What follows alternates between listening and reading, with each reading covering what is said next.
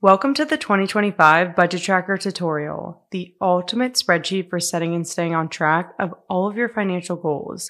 I am super excited about this year's new and improved budget tracker for a lot of different reasons. The biggest addition is all of the new debt repayment insights. After being prompted to fill in more information about your debt on the Setup tab, not only will you see a lot of new monthly and annual insights, but I've also added a snowball debt calculator that calculates a debt repayment schedule using the snowball method for the next 30 years. I also combine the savings and sinking fund goal tables for a more streamlined goal tracking experience, added a lot of new fund charts and graphs, added more rows to the goal categories, and much more. When you first open the file, you'll be on the Read Me First tab, which is your go-to guide for getting started. This tab contains instructions on how to download the tracker, important notes, and a detailed breakdown of how to use each tab with screenshots. A few important things to note. When filling out this tracker, only edit the white cells. If a cell is colored, it indicates that it contains a formula or automatically pulls in data from another tab. Second, if you're using Google Sheets, you have to copy the file to your personal drive before you can edit it by opening the file menu and selecting make a copy. Once you've made a copy, you are good to move on to the setup tab. The Setup tab is where you're going to set up your 2025 budget and all of your financial goals. All of the information you enter here will automatically flow into the rest of the budget tracker. First, enter your expected monthly income in the income table, and the monthly income breakdown pie chart will automatically update.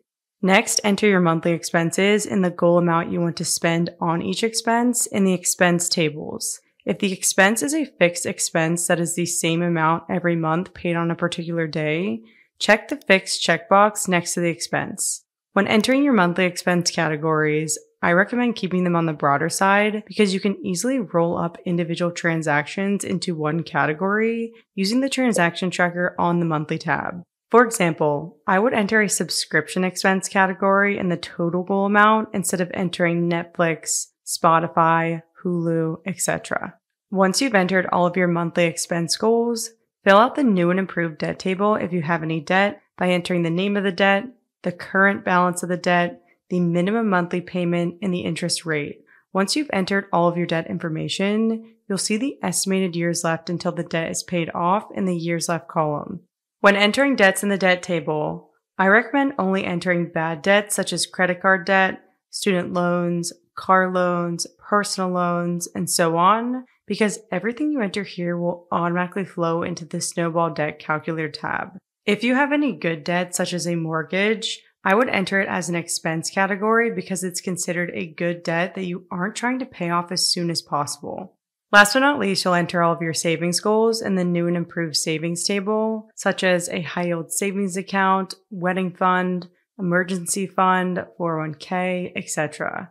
I recommend filling out the savings goals last because the monthly goal overview calculates the amount of income that's left over after all of your expenses and debt payments are paid. For example, here I can see that I have $8,881 left after all of my expenses and debts are paid, which I can now allocate towards all of my savings goals.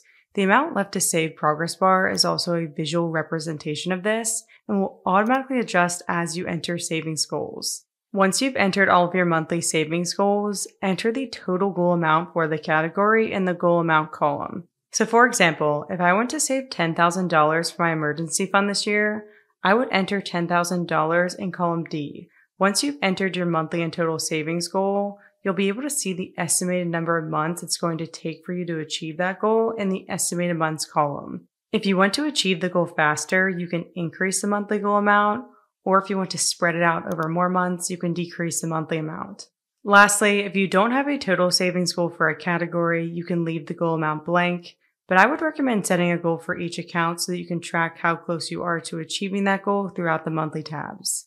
Once you've entered your income, expense, debt, and savings goals, you can view your final monthly breakdown on the right of the tab. Now that you've set up your budget tracker, it's time to start tracking in the monthly tabs. You'll enter your income for the month by category in the actual column of the income table and your monthly savings by category in the actual column of the savings table. Once you've entered your monthly savings, you can view your total goal, the amount you've saved so far this year, and the remaining amount to achieve your goal in the savings table and in the goal progress bar chart. Last but not least, enter your monthly transactions in the transaction tracker. A transaction is any expense or debt paydown amount that you are spending money on. Once you enter the date, the amount paid, and select the category for the transaction, it will automatically be added to the category in the expense or debt table. The monthly dashboard in the middle of the tab visualizes your monthly income, expenses, debt, and savings compared to your goals on the top, calculates the average spent and saved per month in the middle, and tracks your transactions entered in the transaction tracker compared to your monthly spending goal so that you can see how close you are to hitting your goal as you enter transactions. Finally, at the top, you can see your total income, total amount spent, total amount left over you had to save, and your monthly save rate. The next tab is my personal favorite, the annual dashboard tab.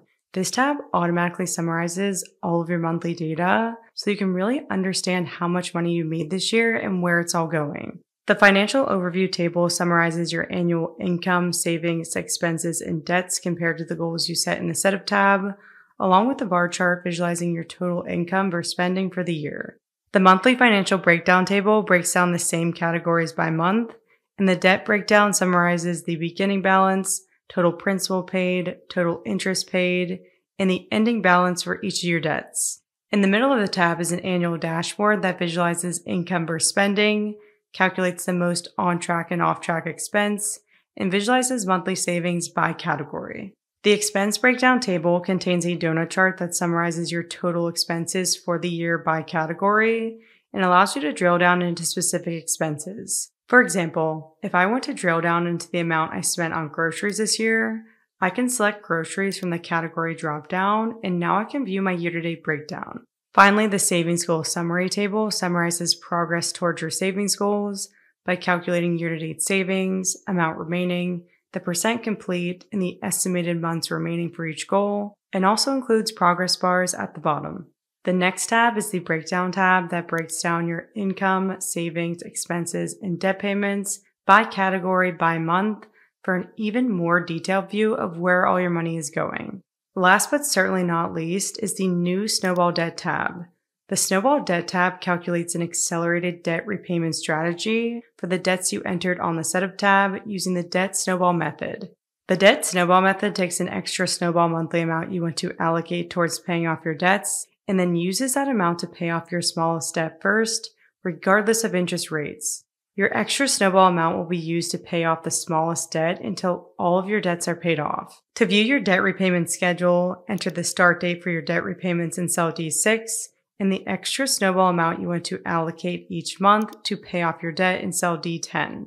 For example, if you want to allocate an additional $200 each month to paying off your debts, enter 200 here.